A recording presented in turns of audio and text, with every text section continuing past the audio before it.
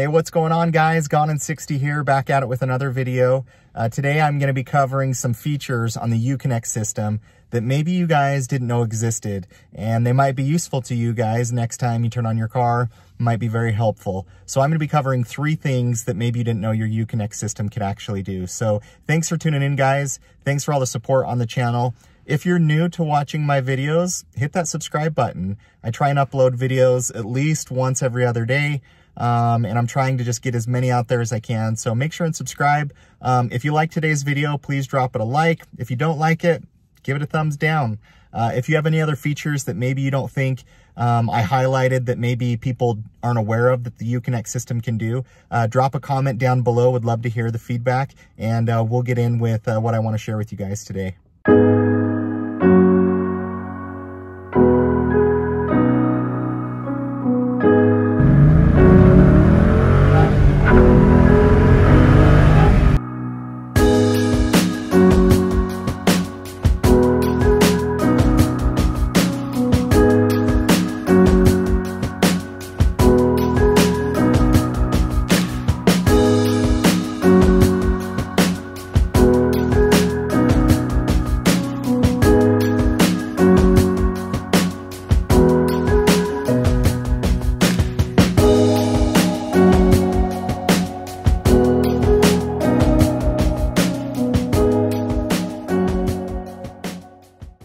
Right, so the first thing that I want to be able to show you guys um, under settings, I watch a lot of different YouTube videos. I've seen a lot of people drive around in their cars, do, um, you know, different videos on, on um, you know, racing or whatever it might be. And I always notice that almost everybody has the exact same display background on their car.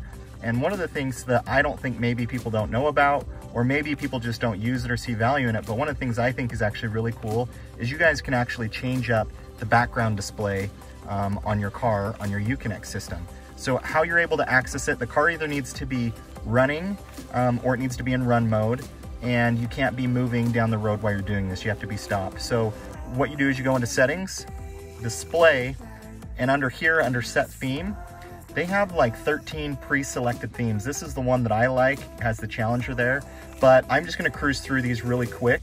Um, and they're actually really cool. So obviously you have kind of the drag setup. Um, the second one is just kind of more the standard. This is what I see a lot of people use. And notice it changes the icons down here as we kind of go through the different settings. Uh, the third one I think is really common, really standard. This is probably the one I see most people use. Um, and as we kind of go down through it, you can see, hey, this is more standardized for the Hellcat. And I love it, but I don't feel like I can use that because I don't have a Hellcat, but that's just my personal opinion. Um, the fifth one, just kind of some gears and techs and gadgets there. Um, yeah, the Demon, which is awesome, but don't have a Demon. Um, this is one I'm currently using. I think it's actually really cool. Kind of the red background, so it shows kind of as I'm having my music on there. Um, the eighth one, another standard one I see a lot of people use. Um, ninth one, same. Tenth, uh, back to kind of the Hellcat theme.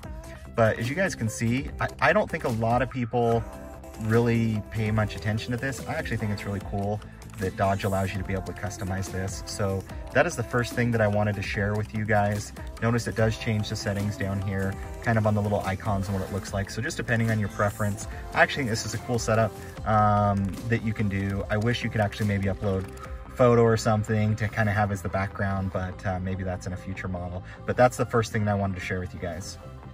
The second thing that I want to be able to show you guys that I think is actually really cool that Dodge has done here with their Uconnect system is these are not set in stone of what you want. So the settings, you know, that are down there, whether it's radio, climate, whatever, you can actually adjust them and it's actually really easy to do. So say I wanted to have my SRT mode down here.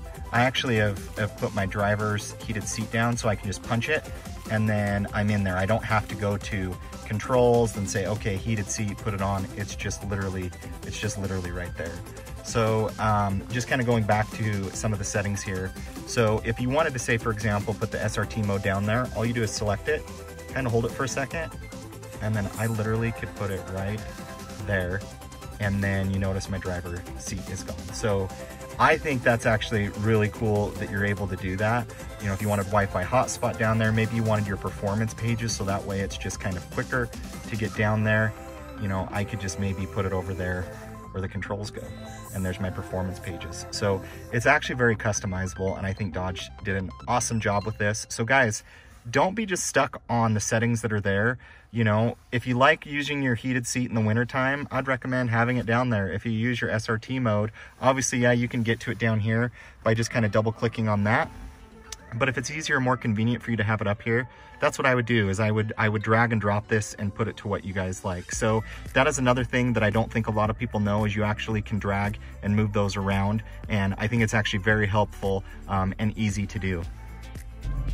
All right, so last thing I wanna show you guys is um, something that I kind of discovered that I personally like. I don't know if you guys have ever you know, been in a parking lot and you wondered if you're you left a light on or whatever and it takes a while. I actually like coming up here to the engine off options and I like to change my headlight off delay um, I think this was standard set at like 90 seconds, which is a long period of time.